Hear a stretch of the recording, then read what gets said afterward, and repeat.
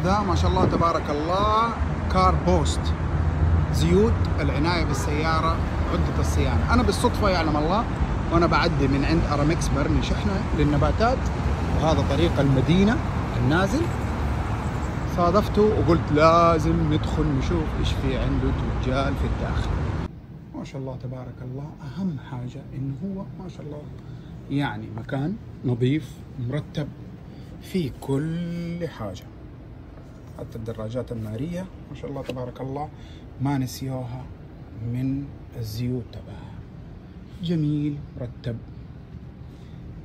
وهذا الغرا اللي هو سريع. الجفاف. ما شاء الله تبارك الله عندهم كل ما لذ وطاب ما اقتصر الموضوع فقط على الزيوت ولكن ما شاء الله تبارك الله عندهم كذلك معدات. يا سلام يا سلام.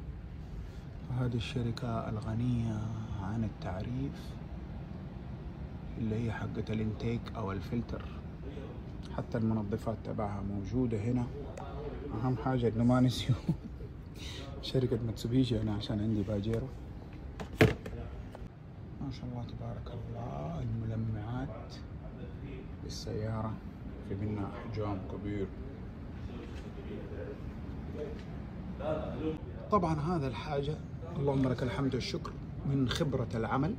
كنت أشتغل هذا شحم لتنظيف اليد من الزيوت ومن الشحوم.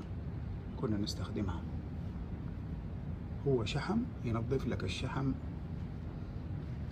من اليد بدل ما تقعد تستخدم اللي هي صابون وتايد وفيري. سريع جدا. حتى قطع غيار شفت عندها موجودة بوش. ميتسوبيشي ما شاء الله تبارك الله. في موجودة اللي هي الفلاتر. فلتر الزيت. وهذا إحنا نسميه جالون. هو لغة إنجليزية. هو متخصص فقط لنقل اللي هو الغازولين البنزين عشان ما يتفاعل. انه في أحيان الواحد بينقل البنزين أو المواد المشتعلة هذه بينقلها في بلاستيكيات عادية جدا.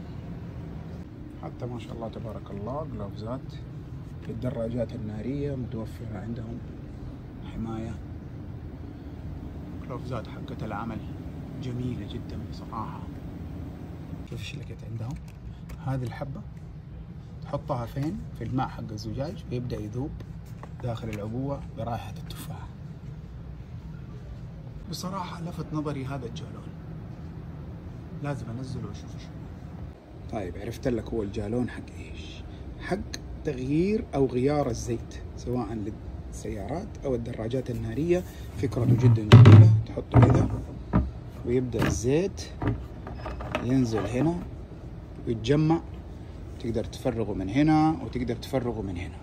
طبعا هو أمان جدا عشان إحنا لا نقول اللغوصة أو الزروطة اللي تصير معانا تقدر تشيله.